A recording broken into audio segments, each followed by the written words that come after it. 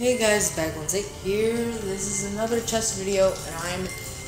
You need the mind blower to get here because you need to get through one of the guards. But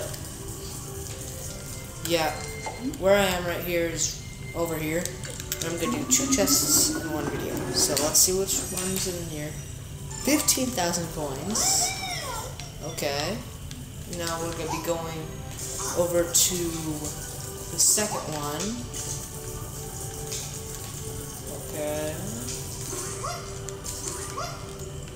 We're almost there. Oh, what's that? Oh, it's over here. Okay. Yeah, right there. There, now what did I get? 20 tacos, not bad. So, hope you guys enjoyed the video. Bye!